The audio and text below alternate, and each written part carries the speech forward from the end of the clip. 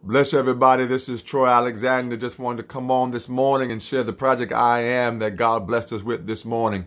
The word is I am more than a word. God said, I am more than a word. He said, listen, for I am the revelation of the word. Remember Lazarus?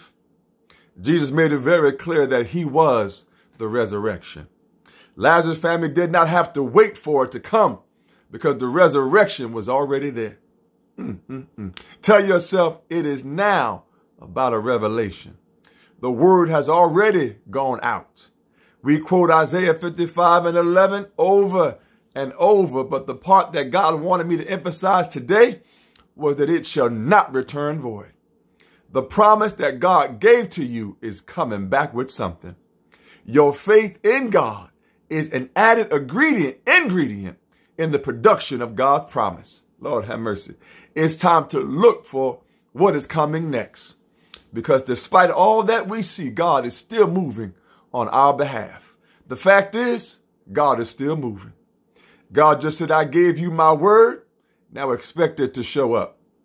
Lord, and, and truth be told, if you believe that power and healing, deliverance, promotion, increase, overflow, peace, joy, and more are in God, and God is in you, huh, then it's already yours. Somebody wrote a song with the words, go get your inheritance.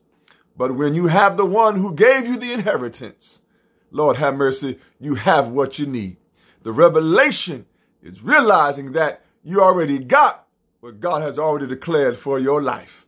Listen, Shadrach, Meshach, and Abednego already knew who was on their side and who was with them in the room. But it took the furnace experience for others to see who was also in the room. The Lord said, I will not leave you, nor will I forsake you. He is already in the room. And for some of us, that can be their revelation because what better place to be in than to know that God is with you in the room.